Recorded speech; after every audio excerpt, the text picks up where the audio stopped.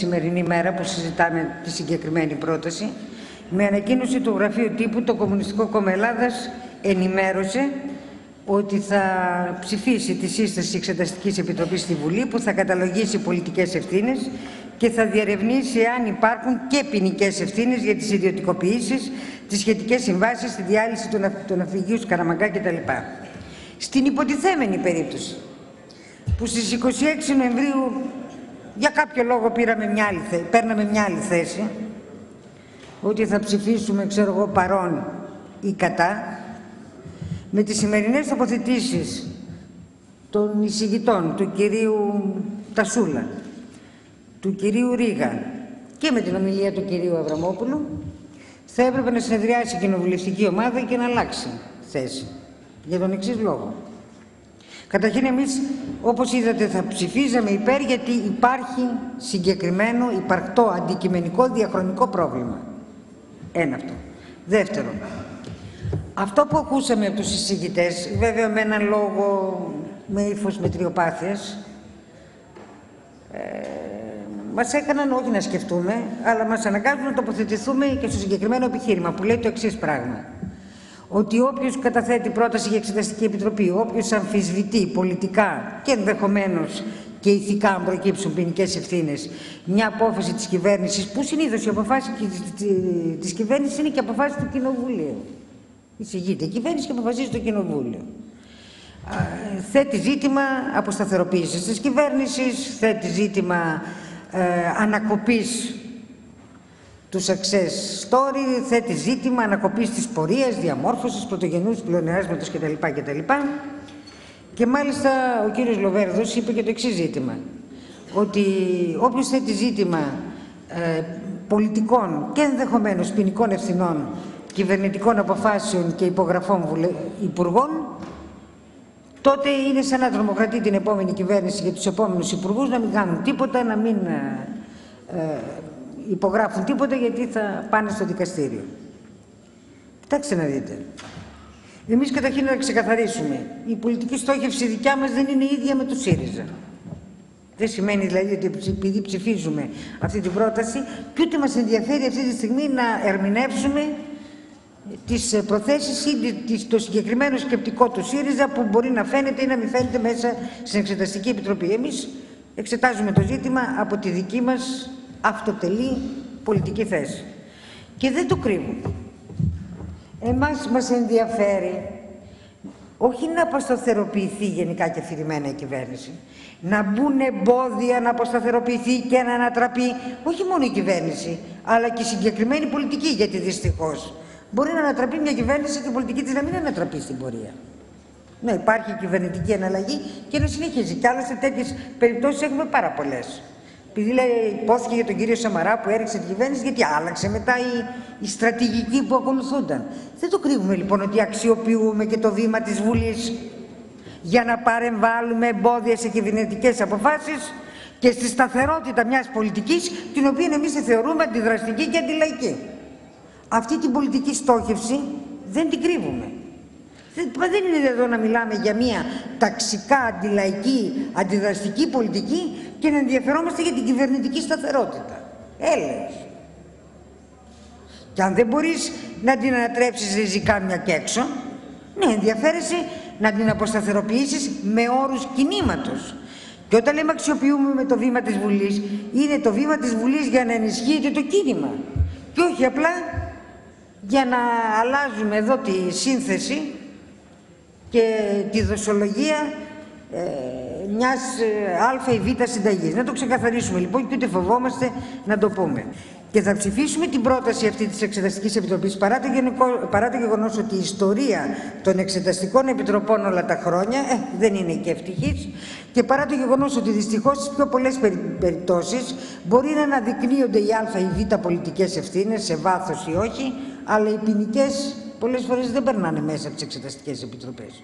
Γιατί κοιτάξτε να δείτε, οι μίζες παραδείγματος χάρη, που μάλιστα συνοδεύουν ιδιαίτερα τα εξοπλιστικά προγράμματα και είναι οι πιο μεγάλες, οι πιο υψηλές μίζες, είναι δύσκολο να περάσουν μέσα από τη Βουλή. Γιατί πρέπει να σπάσει το πιο απόστημα να σπάσει. Πρέπει να σπάσουν κάποια στελέχη εταιριών. και να καρφώσουν κάποιους για διάφορους λόγους. Είτε γιατί εξαγοράστηκαν από τον ανταγωνιστή αντίπαλο, δεν πρόκειται να βγει το απόστημα δυστυχώς μέσα από την όποια καλή προαίρεση ας πούμε να έχουμε όλοι πάνω σε αυτό το ζήτημα. Και εν πάση περιπτώσει κάποιοι πήγαν και στη φυλακή. Αλλά στις περισσότερες περιπτώσεις αυτά συγκαλύπτουν. Αυτός όμως δεν είναι λόγος το Κομμουνιστικό Κόμμα Ελλάδας να είναι αδιάφορο σε αυτά τα θέματα αφού δεν βγαίνει, δεν βαριέσαι, σας γλιτώσουμε μια εξεταστική επιτροπή. Να ξεκαθαρίσουμε όμως και το εξής ζήτημα. Η... Σε αυτήν την ε, εξεταστική... Ακόμα όμως και οι πολιτικές ευθύνες δεν βγαίνουν στην ουσία. Εν πάση περιπτώσει είναι αντικειμενικά δύσκολο να βγουν οι ποινικές ευθύνες. Και δεν μπορεί να πηγαίνει κανείς μόνο με βάση κάποιες δημοσιογραφικές αποκαλύψεις που δεν ξέρεις τι στόχο έχουν ούτε οι πολιτικές ευθύνες βγαίνουν σε βάθος. Γιατί, εδώ να το πούμε, και η πρόταση του ΣΥΡΙΖΑ είναι εξαιρετικά ρηχή. Παρά το γεγονός ότι. πολιτικά. πολιτικά ε, παρά το γεγονός ότι η στόχευσή του είναι οπωσδήποτε να μειώσει το κέρδο της κυβέρνησης. Είναι πολιτικά ρηχή. Και ένας από τους λόγους που δεν αναδεικνύονται και η ουσία των πολιτικών ευθυνών είναι γιατί είναι πάρα πολύ δύσκολο σε περίοδο, σε, ε, να χτυπήσεις μία ιδιωτικοποίηση σε συνθήκες απελευθέρωσης αγοράς, σε συνθήκες συγκεκριμένου πλαισίου της Ευρωπαϊκής Ένωσης, σε συνθήκες όπου σε κάθε κλάδο, είτε είναι στρατηγική σημασία είτε δεν είναι, κυριαρχούν τα μονοπόλια. Υπάρχει δηλαδή, θυμάμαι την, όταν έγινε η Εξεταστική Επιτροπή για την ΑΓΕΤ, τότε δεν ήμουν βουλευτής ακόμα, αλλά την είχα παρακολουθήσει εξοκοινοβουλευτικά που λέμε για το τίμημα πώλησης της ΑΓΕΤ. Άντε να βρεις άκρη με τους νόμους της αγοράς αν το τίμημα ήταν ψηλό ή χαμηλό. Δεν βρίσκεται. Γιατί μπορεί μια επιχείρηση να πουληθεί τόσο και η άλλη τόσο. Πού να βρεις άκρη; Δηλαδή ότι πρέπει να βρεις έναν αγοραστή που να λέει εγώ θα έδινα περισσότερα. Και δεν είναι μόνο η αγορά, γιατί είναι κι άλλα ο τρόπος αποπληρωμής. Δεν βρίσκεις άκρη. Και με αυτή την έννοια είναι ρηχή και η πολιτική πρόταση του ΣΥΡΙΖΑ. Δεν θα μπω σε μεγάλες λεπτομέρειες, γιατί άλλωστε θα αναπτυχθούν, τα αναπτύξαμε και στην Επιτροπή του 2011 και θα τα αναπτύξουμε και τώρα. Αλλά να πω και το εξής. Άκουσα και ορισμένα ερωτηματικά που απευθύνθηκαν α, από τον κύριο Ρίτσα, Ρίτσα στην ομιλία του. Τι λέει το ΝΑΤΟ για εκείνο, τι η Ευρωπαϊκή Ένωση κτλ. Ε, καλά, σε περιστερεώνα γεννηθήκατε. Ακόμα και αν είναι ρητορικά τα ερωτήματα. Σιγά μην παρέμβει το ΝΑΤΟ για την πολεμική βιομηχανία της Ελλάδας επειδή η Ελλάδα είναι ε, κράτος μέλος του, του ΝΑΤΟ και κινδυνεύει ξέρω εγώ από την Τουρκία. Αν κινδύνευε από την Τουρκία η Ελλάδα, το ΝΑΤΟ θα την, θα την, θα την είχε πελεκίσει την Τουρκία. Και ο, ο τουρκικός και ο ελληνικός λαός από το ΝΑΤΟ κινδυνεύουν σιγά. Η Ευρωπαϊκή Ένωση, καλά, δεν είναι γνωστό ότι η Ευρωπαϊκή Ένωση θέλει να καταργήσει την αμυντική βιομηχανία, άρα και την παραγωγή αμυντικών όπλων σε εθνικό επίπεδο και να συγκεντρωθεί στις βόρειες χώρες γεωγραφικά και πολιτικά κυρίως. κυρίως. Αυτό είναι πασίγνωστο. Γιατί δηλαδή δεν το ξέρουν ότι υπάρχει απόφαση να κλείσει η αμυντική, να κλείσει η αμυντική βιομηχανία, να σταματήσει η διασπορά και να συγκεντρωθεί στην Γερμανία, στην Ολλανδία και σε μια τρίτη χώρα που πάλι δεν τη θυμάμαι να την πω ποια είναι. Καλά, είναι άγνωστο ότι οι παραμονές των τοπικών εκλογών του 2010 έγινε σύσκεψη στη Θεσσαλονίκη, όπου ήρθε ο αρμόδιος επίτροπος της Ευρωπαϊκής Ένωσης και έβαλε αυτό το θέμα της ενιαίας ευρωπαϊκής βιομηχανίας και της κατάργησης της εθνικής αμυντικής βιομηχανίας πολεμική, γιατί τώρα ανάμεσα στην άμυνα και στην επιθετικότητα αυτά δεν βρίσκονται, αλλά εν πάση περιπτώσει. Εμείς με την αμυντική είμαστε, αλλά ποτέ στην η Ελλάδα δεν είχε πλήρως αμυντική βιομηχανία. Ο σχεδιασμός την προβλέπει και για επιθετικούς σκοπούς. Εν πάση περιπτώσει. Γι' αυτό λέω σε περιστερεώνα βρίσκεται ο ΣΥΡΙΖΑ. Βγήκε από ένα περιστερεώνα. Τι είναι τόσο αθώος και κάνει ερωτήματα. Και το ζήτημα είναι το εξής. Ωραία, αύριο θα είστε εσείς κυβέρνηση. Γιατί το ευρωπαϊκό πλαίσιο θα σας επιτρέψει να κατασκευάζονται πολεμικά πλοία στην Ελλάδα. Ενδεχομένως, αν υπάρχει ένα ναυπηγείο βιοτεχνία, κάτι να ψιλοκάνετε. Αλλά ξέρετε πάρα πολύ καλά ότι η Γερμανία είναι και ο μεγαλύτερος ανταγωνιστής σε όλες τις χώρες, έναντι όλων των χωρών του Νότου που έχουν ναυπηγείο, όπως έχει και η Ισπανία ναυπηγεία. Η Γερμανία όλη η ιστορία του 20ου αιώνα αυτό που την ενδιαφέρει να κάνεις στόλο, γιατί πάντα υστερούσες στο στόλο και ε, υπάρχουν πάρα πολλά ιστορικά και μην, μην υποτιμάτε την ιστορία. Η ιστορία δεν έχει διακοπές, έχει συνέχεια. Έχει αλλαγές, έχει ανακατατάξεις, αλλά έχει συνέχεια. Και μόνο το ότι τα, οι Γερμανοί ενδιαφέρθηκαν να αγοράσουν τα ελληνικά ναυπηγεία ήταν για τη συρρήκνωση. Εμείς το λέγαμε τότε. Και με την ευκαιρία τι έλεγε το συνδικάτο στα ναυπηγεία, οι συνδικαλιστές η πλειοψηφία. Μας έβριζαν όταν πηγαίναμε και κάνουμε περιοδία στα ναυπηγεία και τους λέγαμε ότι αυτό θα οδηγήσει σε σύρρυκνωση. Οι Γερμανοί είναι ανταγωνιστές. Προσπάθησαν να αξιοποιήσουν τα ναυπηγεία του Ντάνσκ στην Πολωνία όταν έγινε η παλινόρθωση. Αλλά εκεί μπήκαν και οι Αμερικανοί και ήθελαν και τη σιγουριά τους. Τους ενδιαφέραν τα ναυπηγεία του, του Ντάνσκ. Μετά κατάλαβαν ότι έπρεπε να ενισχύσουν τα γερμανικά ναυπηγεία.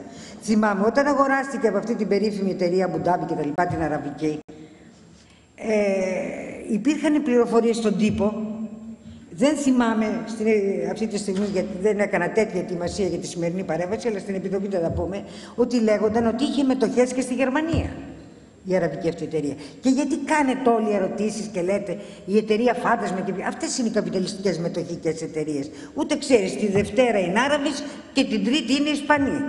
Την Πέμπτη είναι Πορτογάλοι καπιταλιστές.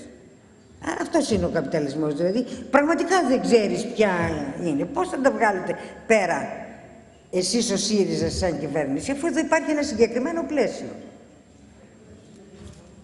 Και με αυτή την έννοια δεν φτάνει η κρατικοποίηση. Πρώτα πρώτα απαγορεύεται η κρατικοποίηση από την Ευρωπαϊκή Ένωση. Δηλαδή εδώ σημαίνει ότι κάθε μέρα πρέπει να έχεις 10 μέτωπα σύγκρουσης με την Ευρωπαϊκή Ένωση. Ε, Εμείς λέμε αποδέσμευση.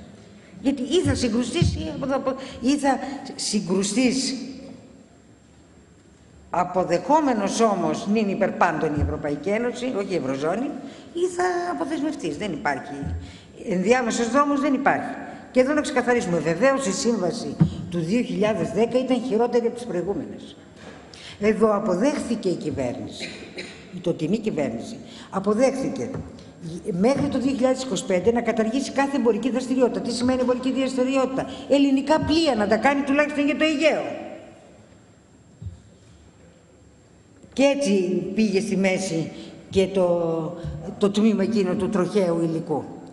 Αποδεχθήκατε λοιπόν με ανταγωνιστές σας να καταργήσετε την εμπορική δραστηριότητα. Όταν τα πολεμικά πλοία ξέρετε ότι δεν μπορείτε να κάνετε αμυντική βιομηχανία στην Ελλάδα. Έσω μέσα στα πλαίσια αυτού του συστήματος που είχατε. Αυτά τα δεχτήκατε. Για να μην πω, οι σύμμαχοι αυτοί έχουμε ανάδοχο εταιρεία, κατασκευαστή, υποκατασκευαστή και δεν συμμαζεύεται. Ένα πλέγμα δηλαδή σχέσεων που τελικά βγαίνει ότι η Ελλάδα χρωστάει σε αυτούς που τις χρωστάνε αυγά και καλάθι και χρωστάει και πρέπει να επιστρέψει. Δηλαδή υπάρχουν μια σειρά πράγματα, δεν, δεν μπαίνω τώρα σε λεπτομέρειες γιατί αυτά είναι και αντικείμενο της Επιτροπής. Αλλά ας πάρουμε για το εξής πράγμα. Το Κομμουνιστικό Κόμμα Ελλάδας θεωρεί ανοιχτό πρόβλημα από τη στιγμή που ο Νιάρχος πούλησε τα ναυπηγεία στην κυβέρνηση. Στην ελληνική κυβέρνηση τότε, στο κράτος. Γιατί ο Νιάρχος πούλησε τα ναυπηγεία; Τον ξελάσπωσε η κυβέρνηση Πασόκ τότε. Γιατί μιλάμε για το δημόσια, τη δημόσια περιουσία και την ιδιωτική. Το ξελάσπωσε. Και την περίοδο εκείνη που έγιναν κρατικά τα ναυπηγεία ήταν άλλη περίοδος. Μην ξεχνάτε ότι μέχρι σοβιετικά πλοία κατασκευάζονταν στα ελληνικά ναυπηγεία. Εκείνη την περίοδο δεν υπήρχαν τόσα ανταγωνιστικά κέντρα, καπιταλιστικά, υπεριαλιστικά, πείτε το όπως θέλετε, που υπήρχαν. Η Ευρωπαϊκή Ένωση ήταν ΕΟΚ και που δεν γυρνάει η Ευρωπαϊκή Ένωση πίσω και όπου η ενιαία πολιτική ήταν κυρίως στην αγροτική πολιτική και προετοιμάζονταν, τη βλέπω την ώρα, στο επόμενο βήμα. Και τότε είχε ένα, μια αγορά, ας το πούμε. Είχε την δυνατότητα να κατασκευάζεις και τα πολεμικά σου πλοία και τα εμπορικά σου πλοία. Και μετά βλέπεις που πάει η κατάσταση και τη βλέπετε και τώρα.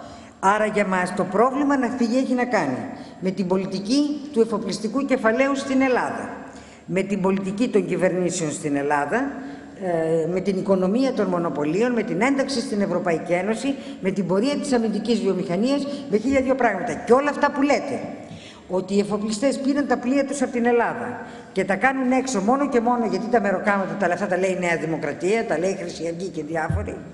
Και είδα τη Χρυσή Αυγή βγήκε υπερασπιστής του Περατικού, που δολοφονήθηκε λέει κιόλας.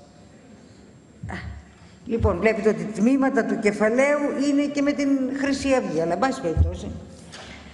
ε, ότι οι εφοπλιστές φύγανε την Ελλάδα λόγω των ψηλών μεροκαμάτων και των απεργιών. Δεν είναι. Αυτό είναι εν μέρη αλήθεια.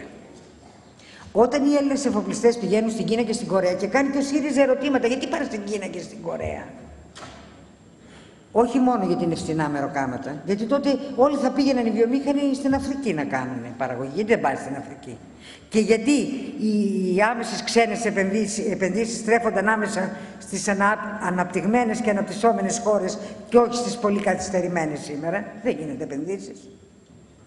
Γιατί ενδιαφέρονται οι Έλληνες εφοπλιστές να συμπράξουν με τους Κινέζους για να πάρουν μέρος και στην παγκόσμια αγορά. Να πάρουν μέρος και τα διεθνή μερίδια, δεν κορόιδα. Έτσι, αυτό είναι το κεφάλαιο.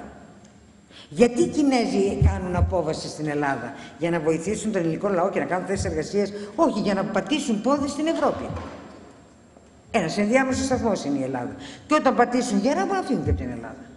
Τους ενδιαφέρει αυτό. Επομένως, είναι πολύ απλοϊκά αυτά που λέτε. Οι απεργίες, εκείνο, το άλλο και τα λοιπά και τα χαμηλά μεροκάματα. Και μηδέν να γίνουν τα ελληνικά μεροκάματα, δεν θα παράσχουν στα ναυπηγεία.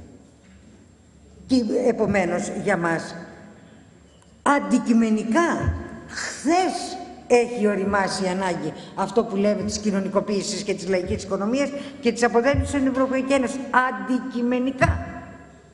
Δεν λέμε ότι ο ελληνικός λαός είναι έτοιμος να κάνει αυτή την επίθεση. Όχι. Αλλά αντικειμενικά έχει οριμάσει χθες. Οποιαδήποτε κυβέρνηση και να είναι. Πώς θα επιβάλλει στους εφοπλιστέ να παράγουν σε ελληνικά ναυπηγεία; Και μάλιστα να δώσει και αυξήσεις. Και να γυρίσουμε και στο πρώτο 2000. Και να κάνουν και απεργία. Γιατί κοιτάξτε να δείτε. Βεβαίως, επενδύσεις με σιγή νεκροταφείου στην Ελλάδα θα γίνουν κάπως περισσότερες. Άμα, μπει, άμα ο ελληνικός λαός μπει κάτω από τον τάφο, ε, εντάξει, είναι ένα επιχείρημα. Αλλά εμείς δεν μπορούμε να, στο όνομα του να, η ανεργία να λυθεί κατά 100.000 θέσεις εργασίας, γιατί δεν πρόκειται να γίνουν πολύ περισσότερες, σταθερές. Όλες οι άλλες θα είναι αναλλασσόμενε.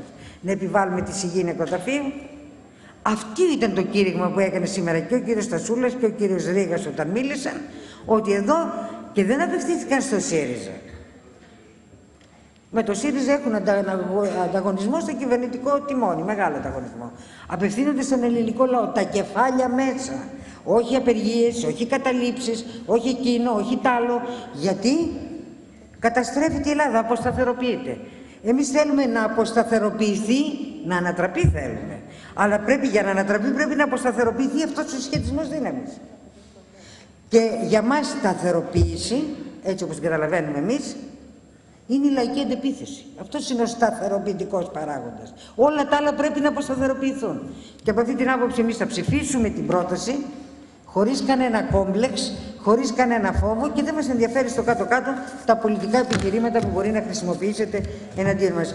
Και εφόσον, αν συσταθεί αυτή η επιτροπή που δεν φαίνεται, και δεν την ψηφίζουμε γιατί έτσι κι αλλιώς δεν θα συσταθεί, εμείς θέλουμε να συσταθεί και ένα παραθυράκι στην ουσία των πολιτικών ευθυνών να βγει καλό είναι και στο κάτω-κάτω μακάρι να βγουν και ποινικές ευθύνες. Όχι ότι λύνουν το πρόβλημα, γίνεται και πλυντήριο. Ένας άμα πάει φυλακή, ο Άκης φυλακή γίνεται πλυντήριο. Αλλά από την άλλη μεριά δεν είμαστε διατεθειμένοι να περνάμε στον ντούκο και τις προσωπικές ευθύνες και ας φοβόνται αυτοί που πρέπει να φοβηθούν, ας αισθάνονται τρεμόμενοι και ξέρετε πάρα πολύ καλά ότι εμείς πολεμάμε εξίσου και την εργατική αριστοκρατία και στον χώρο των πρώην δέκων όλων και στο δημόσιο η εργατική αριστοκρατία είναι αυτή η μεγάλη εφεδρεία των κυβερνήσεων όλα τα χρόνια. Αυτοί πάλεψαν για να περνάνε οι αποφάσεις. Οι συνδικαλιστές οι οποίοι τώρα, επειδή αλλάζουν κόμμα, νομίζουν ότι μπορεί να συγχωρεθούν. Ε, όχι κύριοι. Κάτι κοντάκιδες και κάτι αυτά, ε, η γούνα τους, τι να σας πω, η γούνα τους είναι εντελώς, Ευχαριστούμε, πώς κύριε λένε, Πρόεδρε. την ξέχασα. Έχω πολλά ράματα μάλλον στη γούνα τους. Ευχαριστούμε πολύ, Αυτοί κύριε Πρόεδρε. έγιναν. Οι κυβερνήσεις αποφάσιζαν, αλλά οι συνδικαλιστές και στις τράπεζες και στις ΔΕΚΟ και στην ΕΙΔΑ και αλλού ήταν αυτοί που πέρναγαν την πολιτική στο λαό. Και σήμερα αυτό γίνεται. Και με νέα πρόσωπα. Ευχαριστούμε πολύ, κύριε Πρόεδρε. Το λόγο έχει ο Πρόεδρος